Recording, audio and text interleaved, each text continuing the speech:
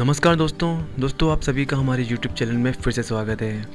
दोस्तों, आज इस वीडियो में मैं आपको बताऊँगा कि आसाम राइफ़ल में जो रिक्रूटमेंट निकली हुई है, जो भर्ती रैली निकली हुई है, उसकी मैं आपको पूरी डिटेल बताऊँगा। तो दोस्तों, आगे बढ़ने से पहले आप सभी से रिक्वेस्ट है हमारे चैनल को ज़्यादा से ज़्यादा सब्सक्राइब करें, इस रेड बटन पर क्लिक करें और बेल आइकन पर क्लिक करें, जिससे हम जो भी नए वीडियोज़ डालते हैं, उसकी नोटिफिकेशन आपको मिलती रहे।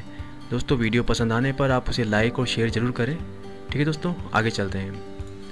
दोस्तों, आप अभी देख सकते हैं, आसाम राइफल रिक्रूटमेंट की रैली निकली हुई है, जिसमें आप देख सकते हैं सात सौ चौपन, seven five four technical and tradesman की पोस्ट निकली हुई है, जिसके लिए आप ऑनलाइन और ऑफलाइन आवेदन कर सकते हैं। ठीक है दोस्तों, इसमें आप देख सकते हैं कि नंबर ऑफ़ पोस्ट यहाँ लिखा हुआ है, पोस्ट किस पोस्ट पे है, और Hindi translate male religious teacher building and road staff nurse clerk इन सब की अलग अलग कैटेगरी वाइज अलग अलग पोस्ट यहाँ पर दी हुई है।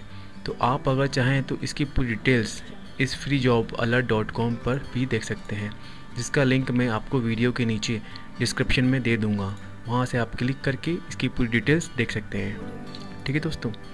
और दोस्तों, इसके लिए एज लिमिट क्या है? वो यहाँ लिखी हुई है। आप देख सकते हैं 18 से 25 साल तक के कैंडिडेट इसे अप्लाई कर सकते हैं।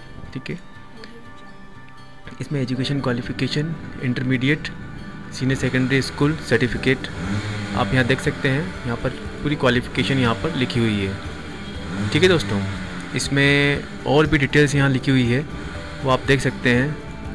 ठीक है सिलेक्शन प्रोसेस जो रहेगा यहाँ पर candidate will be selected based on documentation पहला होगा डॉक्यूमेंटेशन सेकंड होगा फ़िज़िकल एफिशिएंसी टेस्ट तीसरा होगा रिटर्न टेस्ट चौथा होगा ट्रेड टेस्ट, स्किल टेस्ट जिसे बोलते हैं।